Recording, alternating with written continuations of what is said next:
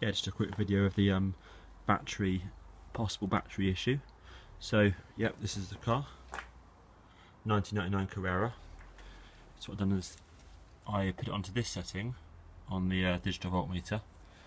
I did originally try to swap the red connector over for this one here, and then have it on 200 here, hoping to be able to see up to 200 on display.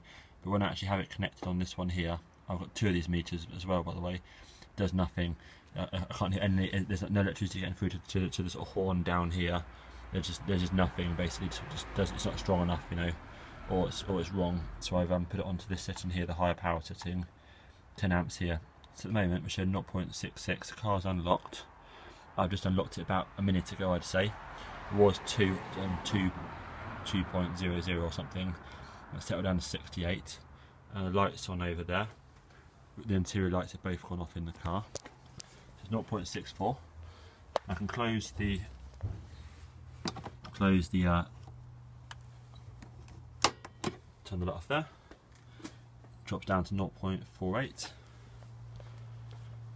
I want to open the door, light comes on. We're up to 2.1.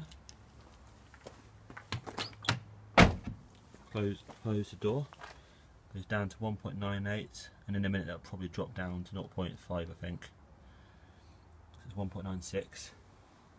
Obviously the light is still on in, inside. Oh.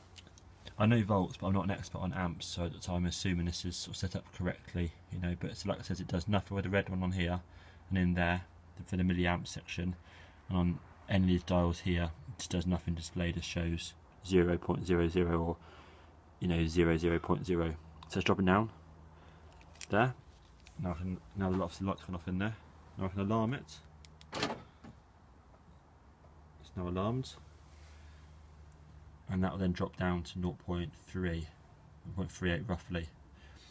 Now I don't know if that you know is actually you know 50 milliamps, so yeah 50 milliamps at the moment, if I've got on the wrong setting, it's actually you know 4.9 amps or something, for example.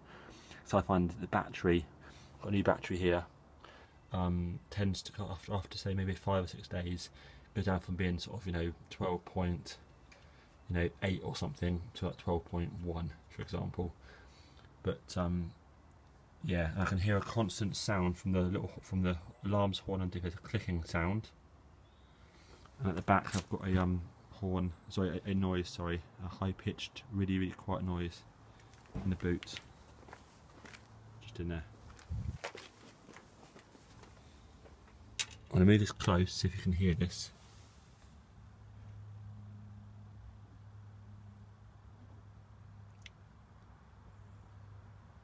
That's the noise from the horn it's 3 volts. So yeah 0.48 at the moment and that will drop that will drop down to about 0.38 so yeah I'll post this up and see what it's got